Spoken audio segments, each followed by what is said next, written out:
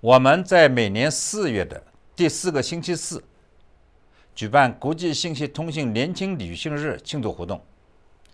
以鼓励更多的女生学习科学技术、工程和数学学科，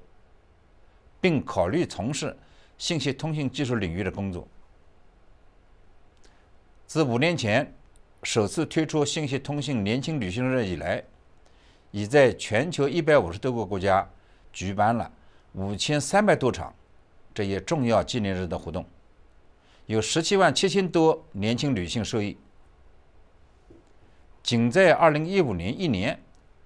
就有六万六千多名年轻女性参加了在世界上一百三十多个国家举办的一千八百多场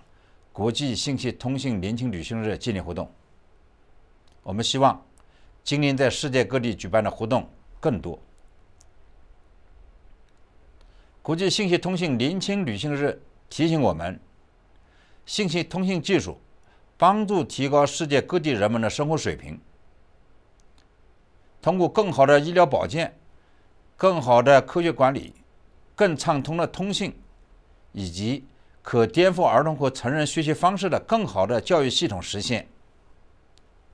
信息通信技术研究，从事于人类可以想象到的最激动人心的项目。随着全球技术行业继续迅速扩大，预期在此行业中，全球将有两百多万个职位需要合格的人才来填补。这就意味着，拥有信息通信技术技能的女性，不仅可以享受高收入，而且。还有许多职业发展机遇在等待着他们，因此，我希望鼓励各位，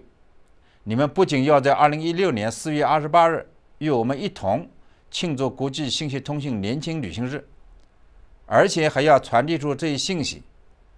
对于世界各地的年轻女性而言，信息通信技术光明的未来等着他们。